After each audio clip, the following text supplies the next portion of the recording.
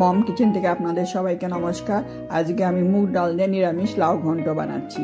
পাঁচশো গ্রাম লাউ পাতলা করে কেটে ধুয়ে নিয়েছি। আর একটা বাটিতে দু মুঠো সোনা মুগ ডাল নিচ্ছি। মুগ ডালগুলো আমি শুকনো কড়াইতে ভেজে নিচ্ছি। লাল করে ভাজবো না, হালকা ব্রাউন করে ভেজে নেব। মুগ ডালটা ভাজা হয়ে গেছে, বাটিতে নামিয়ে ধুয়ে নিচ্ছি। মুগ ডালটা আমি ধুয়ে নিয়েছি। কড়াইতে আমি দু চামচ সর্ষার তেল দিচ্ছি। একটা তেজপাতা ফোড়ন দিচ্ছি দুটা শুকনো লঙ্কা আর হাফ চামচ জিরে। ফোড়নটা দিয়ে আমি ভেজে নিচ্ছি। কেটে রাখা লাউগুলো দিয়ে দিচ্ছি। অল্প ডাল দিয়ে এইভাবে নিরামিষ মুগ ডাল ঘন্ট বানালে খেতে খুবই ভালো লাগে। ওয়ান ফোর চামচ হলুদ দিয়ে দিচ্ছি, পরিমাণ মতো নুন দিয়ে দিচ্ছি।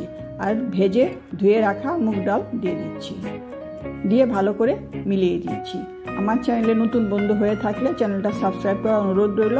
পাশে থাকা বেল আইকন অবশ্যই প্রেস করে দেবেন।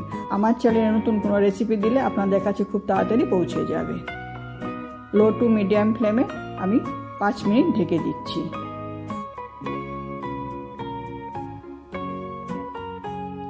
পাঁচ মিনিট হয়ে গেছে, ঢাকা উঠিয়ে নিচ্ছি। দেখুন, লাউয়ের থেকে কত জল বেরিয়েছে। এই জলে মুগ ডাল এবং লাউ সেদ্ধ হয়ে যাবে। আমি এখানে চারটে কাঁচা লঙ্কা চিড়ে দিচ্ছি আর দু চামচ নারকেল কুড়িয়ে দিচ্ছি। ভালো করে মিলিয়ে দিচ্ছি। আবার আমি সাত থেকে আট মিনিট ঢেকে দিচ্ছি, লো টু মিডিয়াম ফ্লেমে। আট মিনিট হয়ে গেছে, ঢাকা উঠিয়ে নিচ্ছি, এখনও কত জল? লাউ সেদ্ধ হয়ে গেছে আর ডালও সেদ্ধ হয়ে গেছে।